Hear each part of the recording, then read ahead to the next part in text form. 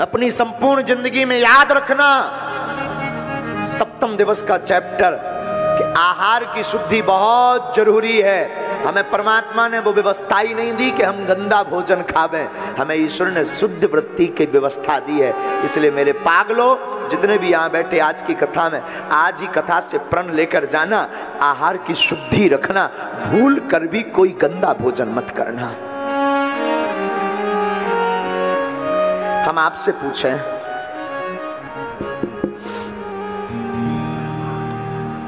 आपका कोई हाथ काटे तो कैसा लगेगा? अच्छा लगेगा या बुरा? बोलो। बुरा लगेगा ना? अच्छा कोई आपकी उंगली काटे हो बढ़िया नमक मिर्चा डाले। कटी हुई उंगली पर। कैसा लगेगा? बोलो ना। अच्छा लगेगा? आनंद आएगा क्या? शरीर फड़फड़ाएगा कि नहीं? करंट लगेगा कि नहीं? हाँ जी या ना जी? तो जिन जीवों को हम काट करके खाते हैं, उन पर क्या बीतती होगी? विचार करो। हम दूसरी बात आपसे पूछते हैं, क्या तुम किसी को जीवित कर सकते हो? क्या किसी मृतक व्यक्ति को जीवित कर सकते हो? अगर आप मृतक व्यक्ति को जीवित नहीं कर सकते तो ये अधिकार तुम्हें किसने दिया कि ज़िंदा व्यक्ति को मार दिया जाए? अगर आप जीवित नहीं कर सकते, ये क्षमता नहीं है तो मारने का अधिकार आपको किसने दिया है? कौन ही आपको अधिकार देकर गया? कि जीवों को मारो, जीवों की हिंसा करो, जीवों को मार मार करके खाओ। मेरे साधु, किसी ने अधिकार नहीं दिया, इसलिए आज की कथा में तुम गांठ बाँध करके जाओ कि स्वप्न में भी, भूल कर भी किसी भी जीव की हिंसा मत करना। स्वप्न में भी भूल कर भी तुम किसी जीव की हिंसा मत करना। जीव की हिंसा करोगे, घाटा खाओगे। आज नहीं तो कल खाओगे। ये संसार कर्म प्रधान है। लौट करके आता है। आज जो तुमने किया है, कल तुम्हें भोगना पड़ेगा। तुम्हें लगता है, ईश्वर नहीं देख रहा। तुम्हें लगता है, कोई नहीं देख रहा। तुम्हें लगता है कि हम तो बहुत बंद कमरे में, बंद पर्दे में काम कर रहे हैं। हमें कोई नहीं देख रहा। ये प्यारे तेरी भूल है। ये तुम्हारी एक सठता है। ये तुम्हारी अज्ञानता है। वो जो दुनिया को बना रखा जिसने, वो सब कुछ हर पल देख रहा है। वरना आप विचार करो लाखों करोड़ों लोग आज तक इस पृथ्वी पर आए। लाखों करोड़ों लोग इस पृथ्वी से गए। आज तक कोई भी पुलिस चौकी भगवान ने नहीं बनाई है, भगवान के द्वारा निर्मित। पर आप देखेंगे कि लाखों करोड़ों लोग प्रतिदिन जाते हैं, पर क्या एक भी वस्तु इस संसार से लेकर जाते हैं? कुछ लेकर जाते हैं? कुछ भी लेकर नहीं जाते हैं। जैसे आते हैं, वैसे जाते हैं। इससे सिद्ध होता है, मेरे पागल। मेरे साधु कि भगवान की लीला अद्भुत है वो हर पल देख रहा है और देख रहा है तो जो किया है वो भोगना पड़ेगा भोगना पड़ेगा तो कर्म पर सावधानी आज से ही रखना प्रारंभ कर दो। गिरधर कहते हैं बिना विचारे जो, जो करे सो पाछे पछिता। काम बिगाड़े आपनो। जग में होते हंसा जग में हो जो बिना विचारे करता है, वो भोगता है, पछताता है। एक व्यक्ति हमसे कह रहे थे, महाराज जी, पीने से ना ताकत आ जाती है। हमका मतलब बोले महाराज जी, कोई बात बोलनी हो ना तो साधारण ना बोल पाओ तो थोड़ा सा ले लो, फिर ताकत देखो। हमने कहा, नक कटा, ठठरी के बरे। इसका मतलब तू बुजदिल आदमी है। इसका मतलब तू बहुत कमज़ोर आदमी है। दूसरे के सहारे पर बोलता है। बोलना ही है ना तो अपने खुद के सहारे पर बोलना सीख। और हमारे एक साधु हमको कहते थे, जाम क्यों पीते हो?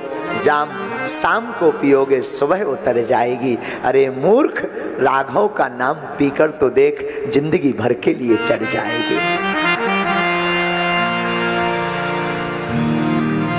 नशा नाश करता है। व्यवहार की शुद्धि में, आहार में नशा जो पीना है ना, ये भी बड़ा घातक है। भगवान ने तुम्हें पीने के लिए बहुत सी चीज़ें बनाई। गंगा जल पियो, दूध पियो, दही पियो, लस्सी पियो, वही पीने से आनंद आता है। प्यारे, तुम्हें लगता है कि हम पी लेते हैं तो सब भूल जाते हैं। ये भ्रम है तुम्हारा। नशा नाश करता है।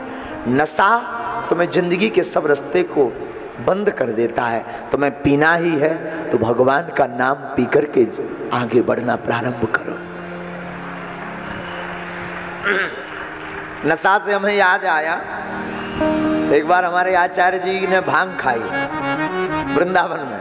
हाँ कब की बात है?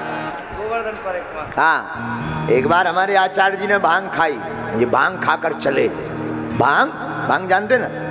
अरे बाबा बाबा बन गए ये भाँग खाकर। इनको ऐसी भाँग चढ़ी भैया कि ये परिक्रमा देने जब गोवर्धन जी की गए तो हम भी साथ में थे, रात का समय तो सब कीर्तन करते, राधे राधे राधे राधे राधे राधे राधे। लेकिन ये तो हो गए आधे आधे। भाँग के चक्कर में। जहाँ जो मिले, महाराज, हे बांके बिहारी, राधे राधे। कोई मंदिर दिख जाए, तुरंत प्रणाम, तुरंत पाँव पड़े। मंदिर का एक जगह तो सुलभ शौचालय को ही। अरे भगवान! अब वो भाँग चढ़ गई इनको। इतनी तेज चढ़ गई रोहित जी को, आचार्य जी को, कि जतीपुरा निकले परिक्रमा में। जैसी जतीपुरा निकले तो इन्होंने प्रणाम किया, जय हो गौ माता। सिर रखकर, पीछे की तरफ़। और हमसे बोले, महाराज जी, जरा देखो देखो तो कितनी काली श्यामा गाय है। हमने कहा, देखना चाहिए श्यामा गाय। रात का समय, हम जैसे ही मुड़कर आए, जब हमने गौर से देखा, अरे, हमने कही, श्यामा गाय नहीं, भैंसिया है। तुम श्यामा गाय बना भैंसिया है ये भैंसिया? तो भाँग इतनी विचित्र, नशा इतना विचित्र होता है कुछ का कुछ दर्शन करवाता है, नशा करना ही है। आपको तो ज़िंदगी में लक्ष्य पाने का नशा करना शुरू कर दो, आपका नशा बहुत अच्छा होगा। नशा करना ही है तो परमात्मा को पाने का नशा प्रारंभ कर दो, प्यारे। प्रभु को पाने का नशा जिस दिन शुरू कर दोगे, उस दिन आपकी ज़िंदगी में चार चाँद लग जाएँगे। महाराज, किसी ने पी है? हाँ। भगवान नाम की भी पी गुरु नानक देव से एक व्यक्ति ने पूछा, बाबा, तुम्हारी आँखें एकदम लाल रहती हैं, तुम भी पीते हो क्या? आँखें एकदम भरी रहती हैं। हम तो रोज पीते हैं, बाबा। तुम भी पीते हो क्या? बाबा ने कहा, भैया, हम पीते हैं, लेकिन दूसरी रूप वाली। तुम पीते हो ये मदिरा। तो बोले, आप कौन पीते हैं? कौन सी पीते हैं? तो नानक देव जी ने बड़ा प्यारा जवाब दिया। बोले, भैया तुम जो नशा करते हो उससे नाश होगा। हम गोविंद नाम की पीते हैं, जिससे कभी नाश नहीं होता है। अच्छा किसी ने पिया है? हाँ महलों में पड़ी बन के जोगन चली। मीरा रानी, दीवानी, कहाने लगी, ऐसी लागी लगन। मीरा हो गई मगन मीरा हो गई मगन मीरा हो गई ऐसी लागी लगन, मीरा हो गई मगन। वो तो गली गली हरी गुन गाने लगी। ऐसी लागी लगन, लागी लागी रे लगन, लागी लागी रे लगन, लागी लागी रे लगन। मीराबाई को नशा चढ़ा भगवान के नाम का, लेकिन ऐसा चढ़ा कि संसार का कोई भी पेय पदार्थ पीने की आवश्यकता नहीं रही।